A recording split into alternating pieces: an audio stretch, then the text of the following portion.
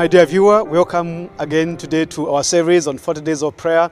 We are grateful to the Lord that today we are on day that seven, just three more days to go. I want to first thank you so much for always being tuned in this program and the many blessings God has given us. Thank you for praying for your seven members, and many of us are praying for you and for more than seven people. Today, as we continue this series, I pray that the Lord may bless you wherever you are. On this day, that seven, we are looking at the second angel's message. Yesterday, we looked at um, the first angel's message, and I'm glad that my colleague Pastor Stephen was able to take us through the last two days. And today, I come back again as we go through to the 40th day.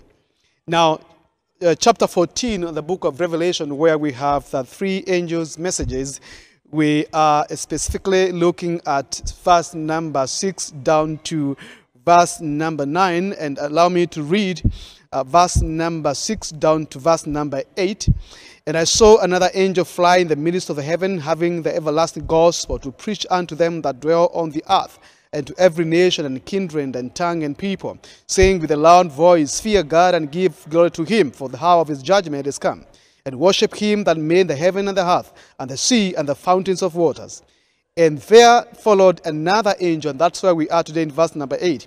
And there followed another angel saying, Babylon is fallen, is fallen, that great city, because she made all nations drink of the wine of the wrath of their fornication. And verse number 9, and the third angel followed them, saying with a loud voice, If any man worship the beast and his image, and receive his mark in his forehead or in his heart, the same shall drink of the wine of the wrath of God, which is poured out with, without mixture into the cup of his indignation. And she, he shall be tormented with fire and brimstone in the presence of the holy angels and in the presence of the Lamb. And the smoke of their torment ascended up forever and ever, and they have no rest day nor night who worship the beast at his image, and whosoever receiveth the mark of his name. Now, this is the famous three angels' messages, and we are in verse number eight, where we are looking at the second angel's message, and there followed another angel saying, Babylon is fallen. Is fallen that great city because she made all nations drink of the wine of the wrath of a fornication. The first angel's message, and today the second angel's message. Before we open this text, let's pray. Our gracious Father in heaven, we thank you for the precious privilege of this fellowship and prayer moment. Lord, we invite your presence to be with us, be with my viewer, be with me right here. Fill us with your spirit, speak to us and through me. We pray in Jesus' name. Amen. Amen. Excuse me for that. Now, we saw the first angel flying in the midst of the air. And today we are seeing another angel likewise flying in the same manner. Now, just to mention here that the angels we are talking about here are not the literal angels. We are not expecting to see the angel as we know them flying with a spectacular, you know, scene in the, in the skies. Now, the angel, the Greek term for an angel is a messenger. And so, in other words, if we could interpret this one correctly, we would say, uh, John would have said, And I saw another messenger fly in the midst of the sky, the midst of heaven, with an everlasting gospel to preach to every person, every kindred, every tongue, and you know, and every people. So, we are talking about messengers of our time. And so in verse number 7 says, in the, in the first angel's message, the messenger is calling people to fear God and to give him glory. Why fear God? And why give him glory? Is because of who God is. You know, God is a creator, God is a sustainer, God uh, is in charge of judgment. God is coming to destroy the earth, renew it, and, and, and, and give people the sense a new face of a new earth, a new Jerusalem. So he has to be, he has to be feared. He has to be respected. He has to be revered. This God, we need to worship him because in this world there are many things that want to be worshipped. You know, the evil one, the Satan, the dragon want to be worshipped. And in fact, this book of Revelation, before this chapter 14, we know in chapter 12 and chapter 13, where there's, you know, the central message there is the dragon seeking to be worshipped, the controversy there. And so we are to worship the only true God. And so we are being invited. And so the second angel comes in, uh, the second messenger then in verse number 8, it says, And there followed another angel or another messenger saying, another preacher saying, Babylon is fallen, is fallen, that great city, because she made all nations drink of the wine of the wrath of her fornication. Babylon is fallen is the message of the second messenger. Now, what is Babylon? We know Babylon, as we know it historically, is a city. But this particular prophecy here is not talking about the literal Babylon city that we know in the history, but it's talking about, it's a symbolic term for the confusion that has come over and, and has covered the world in matters righteousness and salvation. You see, Babylon is that confusion that the evil one has introduced in the world. That darkness that comes from sin, that which confuses right from the wrong, that which creates a counterfeit, a counterfeit, that which mars the, the, the path of God for his people to see. And there are many things that the evil one has devised as a means of confusing people.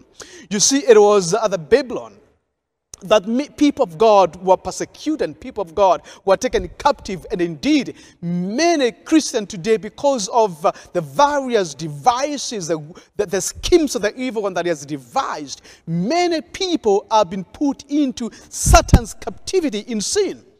And so the, the, the angel, the second angel, flies and declaring hope that even though the devil seemed to be prospering, even though the devil and wickedness seem to be taking root and overcoming righteousness, yet for sure the second messenger declares that God has overcome the evil one. God has overcome the wicked one. God has overcome the darkness in the world because Jesus has come and he is the light of the world. And so he says, I saw another angel flying in the midst of the sky with an everlasting gospel. And this particular time he says, Babylon is fallen. Babylon is fallen, that great city, because she made all nations drink of the wine of the wrath of God. I mean, the, the, the, the wrath of her fornication. You know, I am just reading one quote here uh, from Ellen G. White. The book is Maranatha, uh, page 171, and you discover that I love reading her quotes. She says here, God still has a people in Babylon, and before the visitation of his judgment, these faithful ones must be called out that they partake not of her sins and receive not of her plagues. God is working day and night to remove those who belong to him from the captivity. God is working day and night to set free the captives of Satan. God is working day and night to release those who are in the prisons of sin. And, you know, in this particular phrase here or paragraph here, the pen of inspiration says that God still has his people. You know, when you look at people today in the world and how people have been, you know, messed up and have been uh, confused and, have, you know, have been assimilated in the, the, ways of life, in the ways of world today, you may not actually tell the difference between uh, even church and the world. You know, people are there and there is a lot of confusion in terms of what is God's will for our lives. You know, but, but, but, but the text here indicate that God still has his people who are in the world and who ought to be called from the world to come into the fold. And that is where you and me stand to play a role. God has called you, God has called me, that He can use us as His agents of reaching out to His who he identifies as his own people in Babylon, that we may bring them from Babylon, that we may call them out of Babylon. And that is why the church has this very noble, inspired initiative of total member involvement in calling out those who are in Babylon of sin to come out into the marvelous light of God, that Christ may come and take us home. And as we pray today, we are seeking to go with the third, the second angel's message to call those who are in Babylon to come out because Babylon is falling. that great city, that admiration of the world is falling because Jesus is the ultimate conqueror at the end of the day. And those who are in Jesus Christ are more than conquerors in Him. And so we are not to conquer alone because God says, I have my own in Babylon. You see, Jesus, when He came, He says, I have my sheep that are in that other other, other, other fold. And I need to call them to come into this fold that they may be together with us and have one shepherd, which is Jesus Christ. And so in the second angel's message, you see, is a call which is very short but very clear that the world, with all its broken and false belief systems, institutions, and movements, is corrupted and unreliable and fallen. And we need to tell people so that, that what you see in the world, that, that is not life because it is an empty life. And we need to call them, invite our brothers and sisters to come to the fold of God that we may be under the shepherding of our Lord Jesus Christ. Indeed, the second angel, the second messenger is crying out in the sky and saying, Babylon is fallen, is fallen that great city because she made all nations drink of the wine of the wrath of her fornication. And Jesus is inviting. You know, when you go to Revelation chapter 18, the same uh, book of Revelation chapter 18 and verse number 2, the reason why we have to call them to come out, chapter 18 of Revelation, verse number 1 and 2, I'm interested in verse number 2. But let's begin in verse number 1. And after these things, I saw another angel come down from heaven, having great power, and the earth was lightened with his glory. And he cried mightily with a strong voice, saying, Babylon, the great is fallen is fallen, and he's become the habitation of devils and the, hope, and the hold of every soul spirit and a cage of every unclean and hateful bird. And when you go to verse number four, and I heard another voice from heaven saying, Come out of her, my people, that ye may be not partakers of our sins, and that ye receive not of our plagues. The urgency that the second angel comes in is because for sure the Babylon is fallen that great city is fallen. He will never stand between his God and his people. He will never stand in the way of the Lord. They thought that they had overcome, but Christ, when he died on the cross, they didn't know that on Sunday morning Jesus would resurrect, and those who are in Christ Jesus are more than conquerors, and soon is coming. But he wants to have his people be brought out of Babylon, that of confusion be brought into marvelous light, that may be prepared. Now, this moment as we pray, we are seeking that you may recognize that God wants to use you to reach out to a brother, to a sister who is living in confusion of what is true, of what is right, of righteousness of God, that they may come and embrace the righteousness of Christ. They may come and embrace the gospel of Christ. They may come and be prepared for the second coming, but not just themselves alone, but also be totally involved in reaching out, becoming the messengers, the second angel's message. Take it to the world and bring God's people out of the wickedness of the world before the world is destroyed. Won't you join with me this morning as we pray? And as you seek the Lord, that the second angel's message may be our message today, may be your message today, and may God may use you in particular to reach out to be a blessing to many. Allow me to read a few prayer concerns here that we need to, to, to, pray for as we join together with what we have. Number one, we pray for a deeper understanding of the three angels' messages. Pray for God to take anything. Pray for God to take anything Babylonian out of your heart and to give you courage to call people out of spiritual confusion. Number three, pray for today's gen general conference session business meeting with its decisions for the world church. Uh, pray for the general conference youth ministries and youth ministries in your local church in Nairobi Central to be used in bringing out children back to Jesus. Pray for some some of the most difficult and unentered areas of the world. Pray also for God's Spirit to break the strongholds by his mighty power and miracles. And pray earnestly for your seven names or the seven list the seven uh, member list that you have and don't give up praying for them. We are on until we are over with 40 days of prayer. We thank god for what he has done so far we have received uh, a, new team. We have the, the, president of the General Conference have been re-elected, uh, uh, Pastor Ted Wilson. We have his team now, constituent, you know, the, the, the, the, vice presidents, the ministry departments. We thank God for, we are seeing through um, online that the meetings are, are moved and the power of the Holy Spirit is within the meetings. Let's continue praying until they are done with this. And as you pray for yourself, remember the friends that you're praying for. Join with me now as we pray together. Gracious Father in heaven, thank you for the precious moment. The second angel message declares that the Babylon is fallen. And we do recognize that this falling of Babylon is not because of our doing, is not because of our efforts. We have done nothing in terms of making this Babylon to fall. But this is your will, this is your power, this is your plan, and is your effort to bring down the strongholds of the evil one. Yet, Lord, we have a, a part to play in this.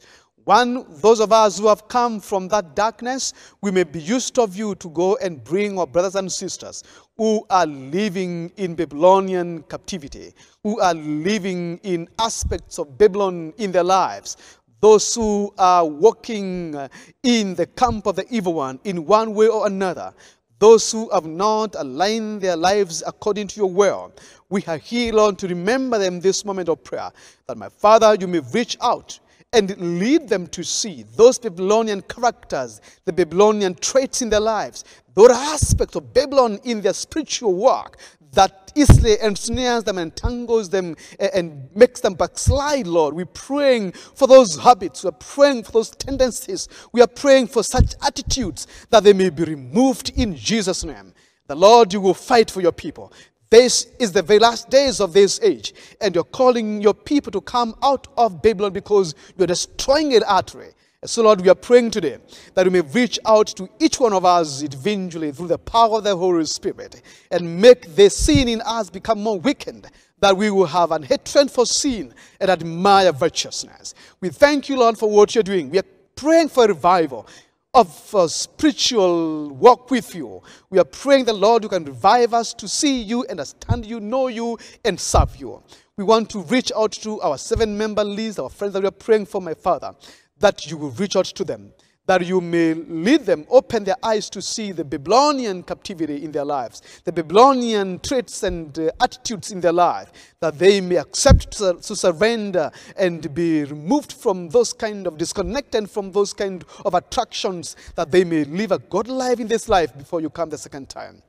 Lord, we want to pause here to thank you for what you have done and what you're doing, the general conference meetings that are ongoing. We thank you, Lord, for the appointment and appointment of leaders in the general conference leadership, the church. We are praying for peace. We are praying for prosperity of the church. We are praying for a progressive ministry of every single leader, every single church member, right from general conference to the local church. With this insight, our eyes fixed on the agency of the three angels' message, that we will be the messengers of this age to go totally involved in the gospel and invite people to come because soon Christ is coming.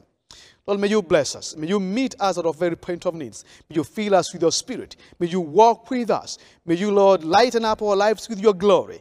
May we admire to sit always at your feet. May we seek to listen as you speak to us and, and direct us. Prepare us for the second coming. We pray in Jesus' name. Amen. Amen. God bless you, my dear viewer. Thank you for remaining tuned. Thank you for subscribing to our channel.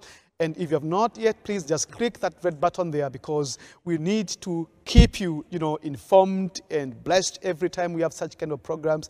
But I also want to thank you so much for sharing these uh, messages with your friends. And if you have not done so far, just continue sharing or begin sharing. Share with as many as you can because you never know who needs this message for such a time like this. Till tomorrow, God bless you.